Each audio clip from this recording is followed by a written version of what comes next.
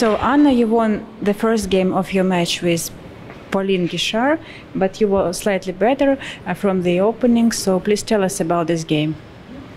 Uh, no, I think I was uh, maybe not only slightly, but uh, definitely. okay, I'm I don't know how much I was worse, but it was definitely that I played something completely wrong.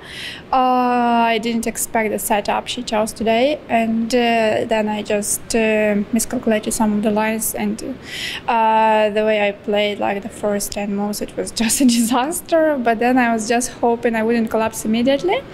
And uh, yeah, then in the middle game, she decided to sacrifice the pawn, and I think it was an interesting decision.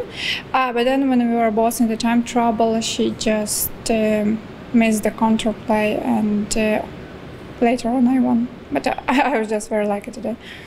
Oh, yes, and now we are playing at the same venue where your sister Maria won the crown uh, in 2015. Do you think that this place is a lucky one for you, for, for both of you? Uh, if I remember correctly, I was eliminated in the quarterfinals. Yeah, that time. Uh, so, well, eh, I mean, I think my sister wouldn't object to playing here and in the same playing hall, but uh, as for me, okay, it's fine. Yes, and now at, at last we are playing um, over the board chess. Have you missed it? Uh, it's not my first tournament. I already played Grand Prix, but yeah, like uh, I remember I had a break of uh, 14 months, and that was quite a lot. Yeah. And do you think that the lack of over the board practice will impact some of the players, including you? Yeah, of course, it has influenced everyone uh, because when there is no practice, uh, then um, many things are different.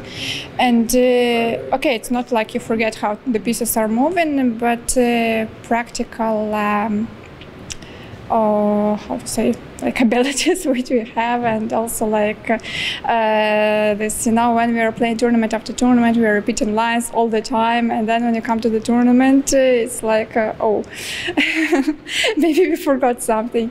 And also of course uh, like um, you don't feel time that well. But uh, as I have said, I have already played a, quite a serious tournament, a Grand Prix, and I think uh, that uh, it will be easier for me like to play now, maybe comparing to some other players who haven't played any, any events. Thank you, Anna, and good luck to you. Thanks.